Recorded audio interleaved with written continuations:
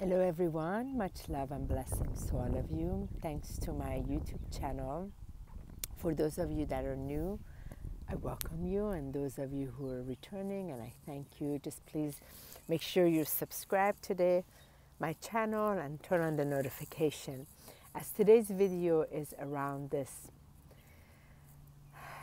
consciousness that is been brought up to the awareness within the community of light regarding spike protein and menstruation of the woman having side reverse effects or side effects as a result of being around individuals with V. That's all I'm going to refer to.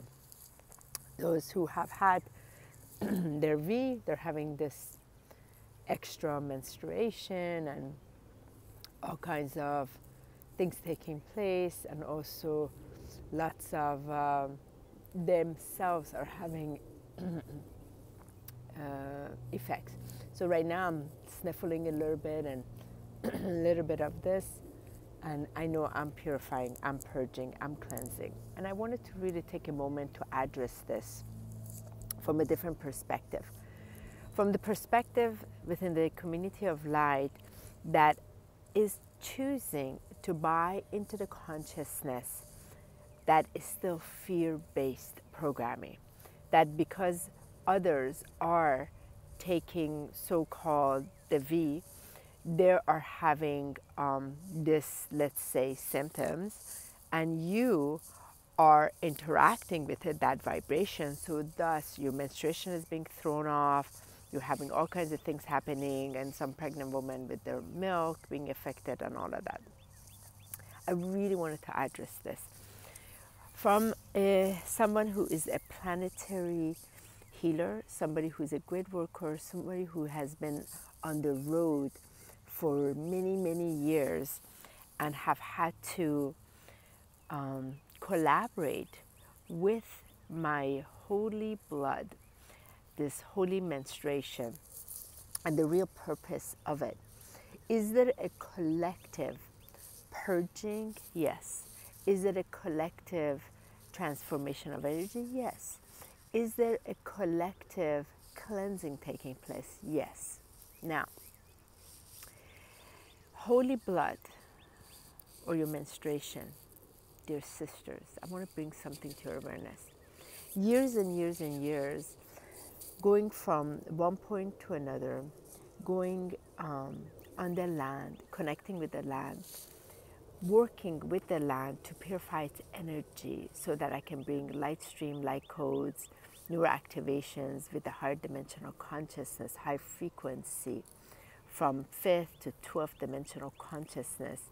One of the things that my team had always reminded me my holy blood is going to be involved. Many times I've had to give the blood to the land, or just before I go in, my holy blood would kick in. So then my physical body would be synchronizing with the land and start purging and purifying.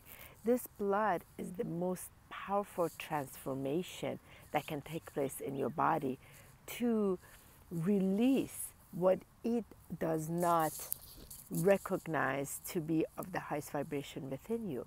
And also the consciousness that might be trapped within the other bodies of yours to then physically purge and purify it. It's one of the most wonderful intelligence within our sacred holy temple. However, again, just like the light community is compromised, just like they're giving the power away, here's another one. Spike protein going up, some scientists have mentioned that, and some of the alter, alternative practitioners are jumping on the bandwagon. And part of it is they are communicating that I don't want to be around individuals who have gotten the V because I'm going to have these symptoms. But that's part of exactly the ascension of the fear consciousness within the light workers that has to also expand into the light. This month of April, I had holy breath three times. Three times. And I knew it only because I've been used to it for now eight years. There's more transformation taking place. So I'm purifying, purging more. My vessel is a vessel of transformation. So within it, It observes everything within the 17 mile radius and it purges and transforms it. There is no fear in here. There isn't that there's anything wrong with my system. It isn't because individuals got V, now I got to go in fear and put myself away and be in this sort of like hole because I don't feel safe. It couldn't be farther from the truth.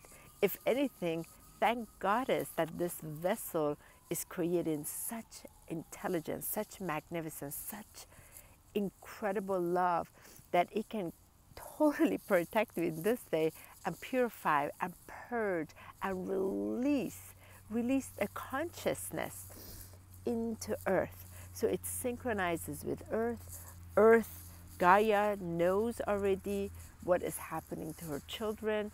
She's standing up with it, we're synchronizing with it. So anything, it's the most wonderful, wonderful harmony that is taking place. And I have seen so many posts going from some of my really powerful Starseeds light workers friends that are all super paranoid that oh my gosh I started menstruating out of nowhere. I've heard all these other people, and there's all this spike protein going on. The scientists have said that, and it's affecting. No, darling. On the superficial level, it might be that. Step back a little bit. Where are you? Where are you? Your connection with Gaia, your connection with Source Light. Are you operating from fear? And that's the fear coming. You can feel it. It's fear. You're devastated. You're thrown around. That's fear consciousness. Are you sitting here? Here today, I'm back on the land in my holy sacredness, holy blood, ooh, flowing. One full week flowing again. The week before, I had it one week off, and then I had it for 10 days. Again, I had it one week off, and again for another 10 days. I've had it since the end of March. Nothing new because I've gone through this cycle so many times. Yes, my body is changing also with this menopauses, the mini pause that I've just entered. However, this intelligence also knows how to balance itself. And when we know what we're dealing with on earth right now is a consciousness, is a consciousness of fear that is here to be transmuted back into light, transmuted back into love through the light and information we're getting. We're not going to give our power to it.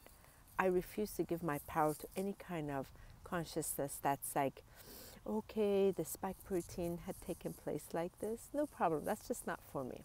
And I've held a bunch of sort of like space for some of my friends that are reaching out. They're devastated, and I'm like, listen, where is God in the middle of this?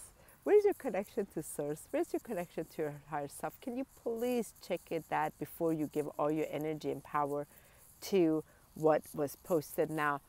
Massive amount of women are now buying into that program as well.